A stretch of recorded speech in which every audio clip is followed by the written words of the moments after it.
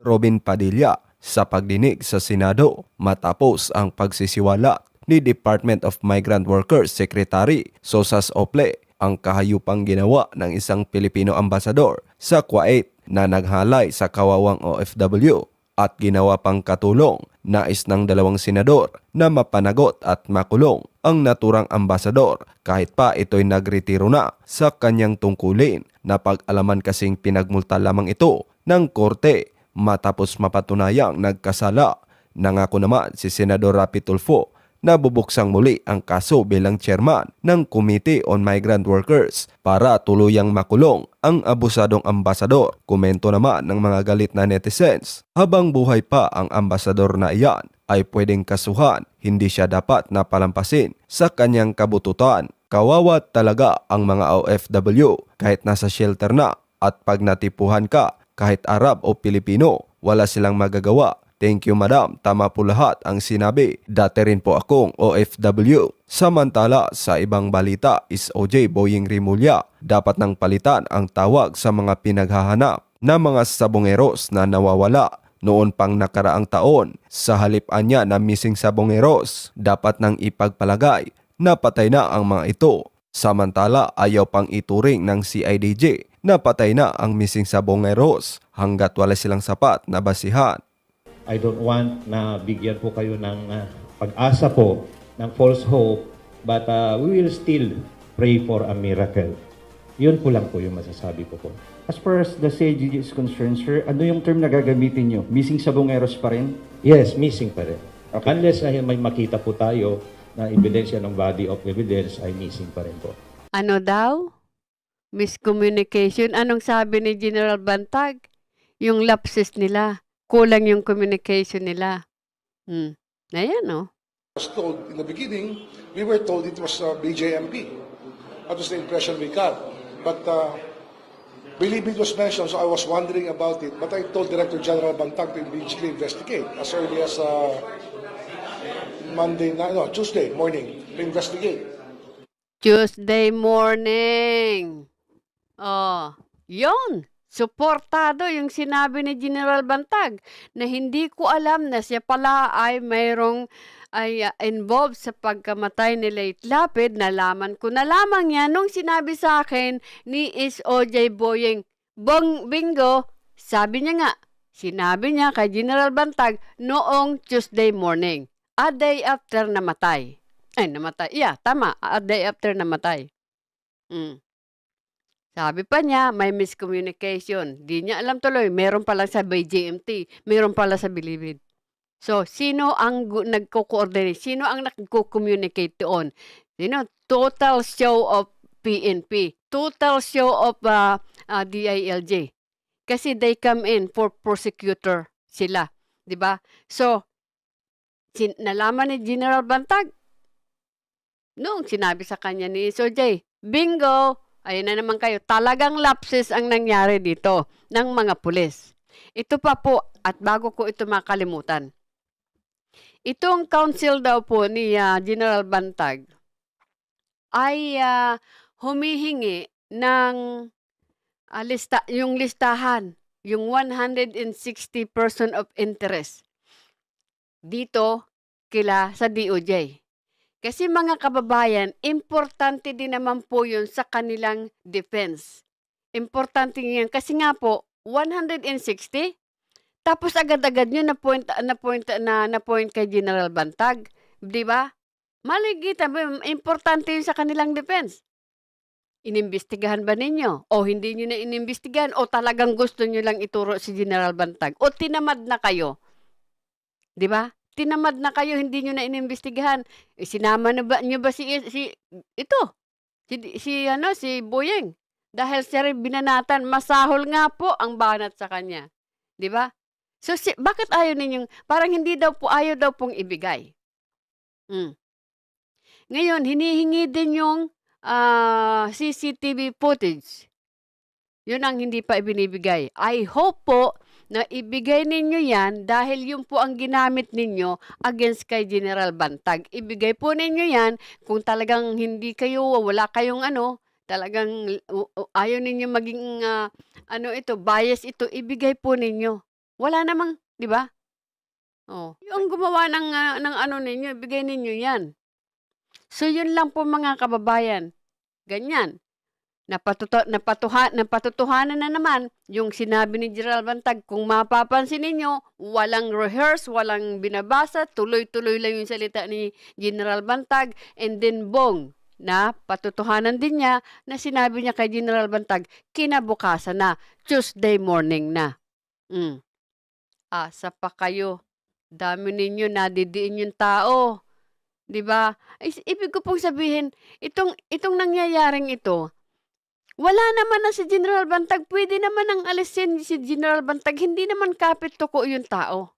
Yung nakikita natin dito, not only na gusto nilang tanggalin si General Bantag sa loob ng Bucor, talagang gusto nilang uh, all the way ipa talagang completely parang out of circul uh, the circulation.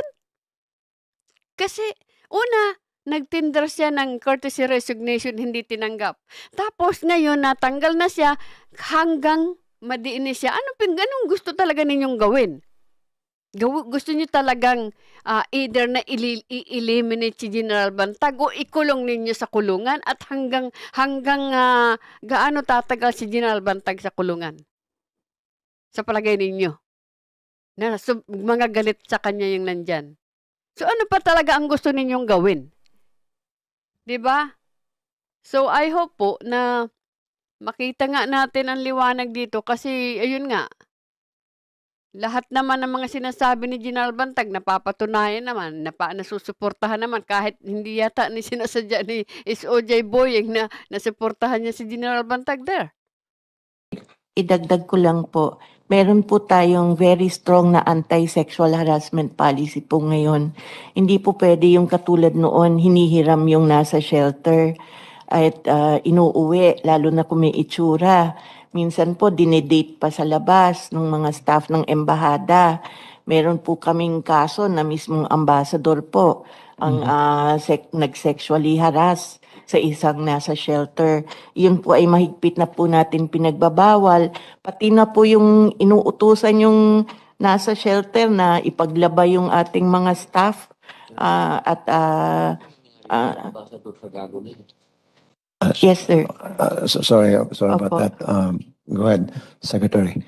Sir, um, kaya po, ah, very strong po yung tagubilin namin na dapat gender sensitive po yung ating mga staff sa migrant workers ah, office at ah, galangin po lalo na yung ating mga kababaihan, sir. Okay. Uh, Senator Robin Hood Padilla, he was trying to ask me a question a while ago. Opo, Chairman, pasensya na po, nagulat lang ako. Eh, doon po sa ambassador na, na siya ang mismong gum- gumawa po. Nasaan po yun? Nasaan po yun, yung ambassador na yun? Yan po ay kaso na hinawakan namin nung ako'y nasa NGO pa. Yung, ah, yung ating kasambahay po ay second year lang po ang natapos ng high school. At siya po ay naglakas loob na magsampa ng sexual harassment case sa isang ambassador.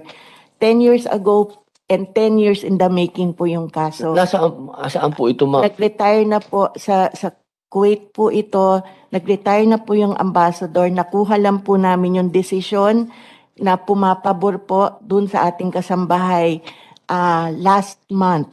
So ang decision po ay um, may fine yung ambassador. Fine? ano, fine lang po. One, Sampung taon po ang, ah, Mr. Chairman. Sampung taon po yung paglilitis sa kaso ah, as an anti-sexual harassment case Hindi po siya sa nakulong. That's what, DFA. that's what he was trying to. Hindi Yes. po. Kasi ang, um, ang sinampa lang po nung kasambahay ay ah, sexual harassment case po doon po sa DFA. Pero ano po ginawa nating gobyerno kung hindi man nagsampa ng kaso yung OFW dahil natatakot, dahil malit na tao lang siya. Dapat Yes yung po. gobyerno should have kicked in and did something about it. Walang ginawa ating gobyerno, hindi pinarusahan o kinulong tong ambassador na to. Madam, I think that's what Robin Hood Padilla, Senator Robin Hood Padilla is Yes po. trying to. Wa- ah, ito Sir. po yung nangyari. Noon pa po, ano, na, na wala pa nga pong DMW noon. Ang naaalala ko lang po, kami ang kumuha ng abogado para doon sa kasambahay. And, and ah, siguro po, kung inyo mamarapatin, kailangan tingnan po talaga yung anti-sexual harassment law po natin para kasama po yung mga diplomats. Kasi ah, sa ngayon po, hi- hindi po nasampahan ng criminal case yung ambassador na yon at matagal na pong nakapag-retire. Uh, Mr. Chair, Go ahead, uh, Senator Bato de la Rosa. di ba yung uh, embassy or consulate is part of uh, Philippine uh, territory? So, Philippine law should apply uh, in those ter- territories sa consulate. So, nangyari doon, pwede natin siya kasuhan dito sa ating uh, korte dito sa Pilipinas. Dahil uh, jurisdiction mo natin yon. Yes Bakit po. exempted ba? Meron bang uh, Um, exempted na- ba? Ang, meron pa silang... Hindi nakapag-file po kami dahil po ah, Senator Bongo. Wait. Dahil, dahil po sa Excuse me, ay uh, opo. Secretary, uh, we would like to acknowledge the physical presence of our Vice Chair, Senator Bongo, being acknowledged. Okay. Yes po. Um nangyari po 'yun sa residence ng ambassador. Opo. Kaya ah, jurisdiction pa rin po ng gobyerno natin. Go ahead, uh, Senator Robin Padilla. Hindi ko lang po talaga, Chairman, mapalagpas yung ambassador eh. Kasi masyadong ano yun eh, nag-make, you have an oath na proteksyonan mo ang Pilipinas at ang mga tao nito. Yun, sa harapan ng Diyos, sa harapan ng konstitusyon. Tapos gagawa siya ng ganun. Sa akin po, wala akong ano, kahit sampung taon, dalawampung taon, nasan na po yung ambassador na yan? Kasi hindi po po pwede yun. Kasi masyadong hindi po talaga ako makapahayag. Pasensya na po kayo. Pwede po bang malaman kung nasaan yung ambassador na yan? Actually, hindi ko na po alam kung nasaan siya kasi um, matagal na rin po siya nagretiro sa service. Ang alam ko lang po yung ah, lagi kami in touch nung OFW na nagsampa ng kaso na ngayon ay nasa Hong Kong po at maganda naman po ang kanyang um, relationship sa kanyang amo. Ah, Mr. Chairman, Go ahead, Senator. ah, mahal na Senator tagapangulo, nasa inyo na pong mga kamay yung mga ganitong pangyayari. Sana po magkaroon po tayo talaga ng ng ipin sa mga ganitong pangyayari dahil ang hirap pong tanggapin talaga. Nahihirapan po akong tanggapin dahil ambassador ka, ikaw ang tatay doon sa lugar na yun. Tapos ikaw ang unang-una nasa shelter pa po yung tao. Sabi, ma mapagmumura po ako, patawarin niyo po ako. Okay. Um, Senator Toots, uh, buhay pa ba yung ambassador? Patay na. Buhay pa po, sir, sa pagkaalam ko. Just give me the order, boss. Ah, ipagdasal na lang natin. Sir, I na natin. can provide the committee po with the case, Okay. uh, the decision po from the Office of the President. Okay. Kung, kung, katuloy kung na- meron pa pong kaso, kung buhay pa po yung kaso, baka po pwedeng habulin pa po natin. Uh, let's see kung pasok pa yun sa statute of limitation, di pa why not? Sige, uh, that's a good point raised by uh, uh, Senator Robin Hood Padilla. Sige po, buhayin po natin yan.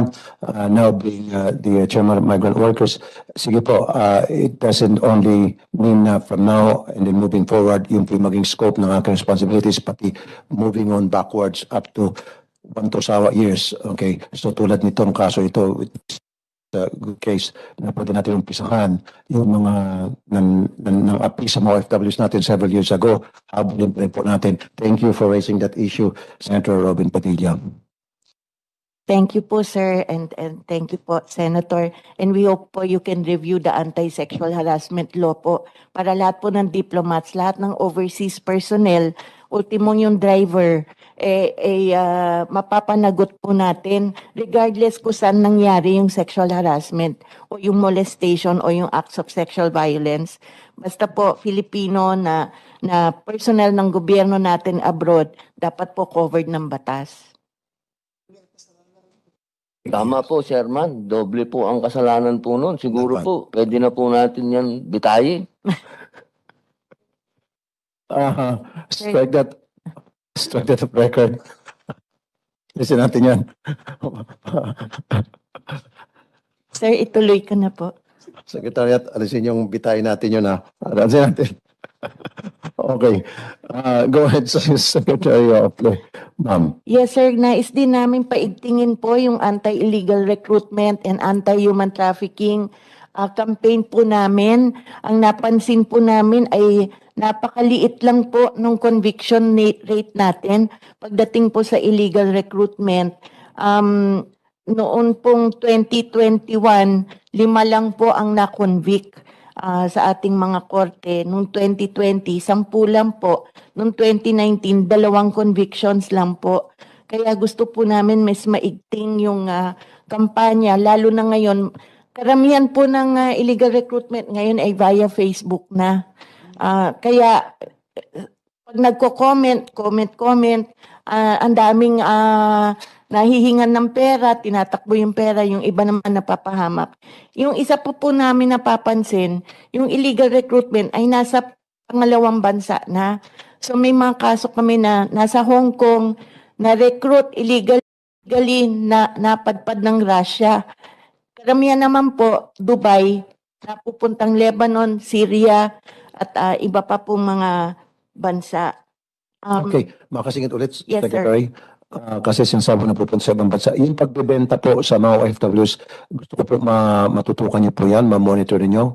Kasi ah, I've received so many complaints in the past na kung saan yung OFWs after na matapos na yung kanyang contract and um, masama pa niyan, hindi pa siya nasweldohan, ibinibenta po siya ng kanyang amo sa kakilala, sa kapitbahay o kamag-anak and then we lost track of the OFWs. We don't know where she is. And yung pala, doon lang siya two blocks away at nagtatrabaho doon sa ibang tao na libre at hindi napapasweldohan. So therefore, she is prone to abuse because hindi natin natatrack down yung kanilang uh, whereabouts. That's why I've been saying this all along. We should have a monitoring system. From the day na dumating yung FW sa deployment, agad-agad merong uh, monitoring system in place na regularly they are being monitored. Tinitingnan yung kanilang kalagayan, kumusta na, ano bang nangyari sa iyo on a regular basis. Agree po kami dyan, ah, ah, Mr. Chair, at ah, yan po ay talagang nasa agenda rin po namin yung pagmamonitor sa ating OFWs. Tama po kayo, nabebenta-benta po sila. Yung iba ay may trauma pa, pinapalipat pa sa ibang employers po. Talagang nangyayari po yan, sir. And then Mayor also, uh, dapat po i-monitor din po yung bahay na pupunta ng OFW. I'll give you an example. Uh, three floors, yung building na pagpupunta ng ating OFWs. Tatlong floor, limang families. Isa lang po yung OFWs. OFW natin na nagbo-work. So how can she? So that means she has to work triple time. Uh, she gets up 4 o'clock in the morning hanggang 12 o'clock in the midnight. Wala na pong trabaho, wala na po siyang time na makapagpahinga. So another monitoring system is titingnan po physical.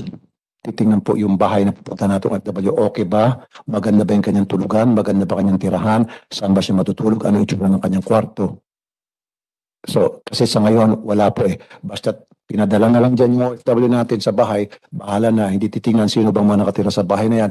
Anong itsura ng kwarto ng OFWs natin, kung meron bang kama, may, may unan, etc. Tama po yan, Mr. Chair. At ah, yung iba nga po ay ah, um, sa totoo lang, hindi na rin po namomonitor ng sariling mga recruitment agencies nila. And ah, although dapat po may full disclosure, kung may aalagaan ba na bata, may aalagaan ba na matanda, hindi naman po din nasusunod yan, hindi po nai-inform yung ating OFWs. So marami po talaga, sir, kailangan mabago ah, sa, sa ating sistema, sir. If I may add, Ma'am Secretary, yes, you're right.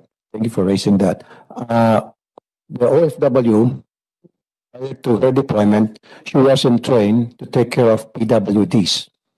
Dating doon, maabutan niya, meron palang isa o dalawang PWDs that she has to take care of. Elderly PWDs sa kabata. Now, because wala siyang experience doon, doon siya nabubog ng kanyang amo.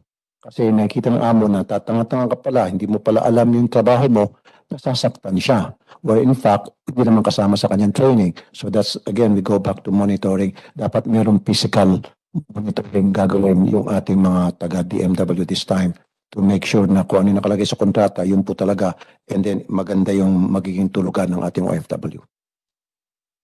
Yes, sir.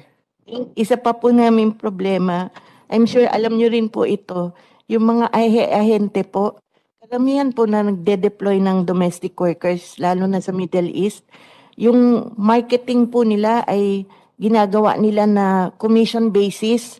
May umiikot sa mga probinsya, nagdadala sa kanila ng ah, mga domestic pe- ah, workers na pwedeng i-deploy and then binibigyan po nila ng komisyon yung ahente. Kaya yung pamilya, ang kilala yung ahente, hindi yung recruitment agency. Pero pag nagka-problema po yung worker, ang unang nawawala yung ahente. Kasi hindi naman siya empleyado, nangungumisyon lang po siya. So isa po yun sa dapat din po mabasag na practice sa ngayon. Sir, with your permission po, konting slides na lang po. Ah, Sige po. Ah, yung OFW hospital po natin sa Mabalacat, Pampanga. Um, ito po ay ah, napakagandang ah, gusali po.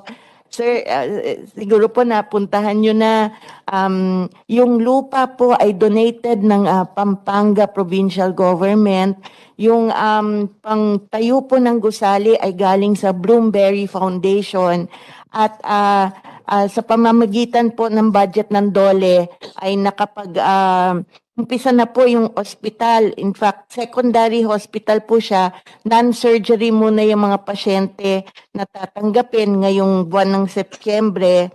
Pero kahit po hindi pa siya fully operational, 2,721 na po ang napagamot ng OFW hospital natin. Kakailanganin lang po sana namin ng konting tulong.